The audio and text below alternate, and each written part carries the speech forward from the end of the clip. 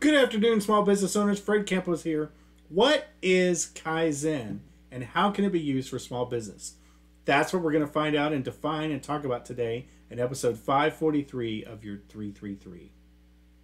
Small business owners, solopreneurs, we are in a series starting this week talking about the concept of Kaizen for small business. Today we're going to talk about its definition, continuous improvement, and the feedback loop.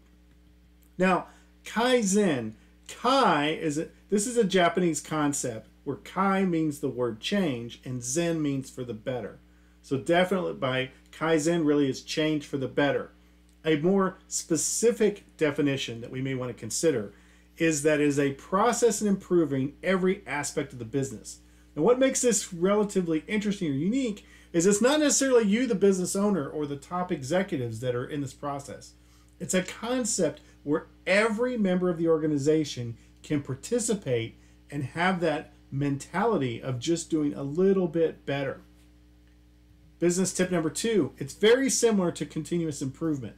Now, for those of you in small business that don't know this, continuous improvement is a concept where you can always be doing a little bit better, a little bit better, a little bit better. You might be rating yourself. You might be plus delting every conversation, every meeting, every event. You might be, you know, PDSA, a plan, do, study, act, trying to make it just a little bit better. It's the concept that your organization, your meetings, your product, you as an employee can be a little bit better, a little bit better, a little bit better. You can always be continuously improving. Now, this concept is used by many, many companies, but not necessarily those in the small business world. In the big business world, it's used by Toyota, Ford, Nestle, Mayo Clinic, Lockheed Martin. But this concept of involving everybody, that everybody can be improving or getting better, can be implemented through business tip number three a feedback loop.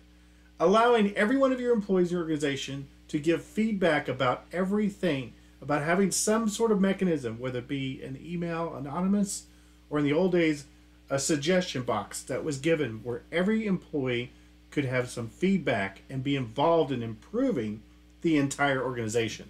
We're going to go deep and look at lots of different methods of using this and how it can help small business. And that's what I want to talk about today. That's what I'm learning. Anything I learn, I throw the fence to you because I want your businesses to be at another level. We want to Kaizen our businesses. Now go back to sleep.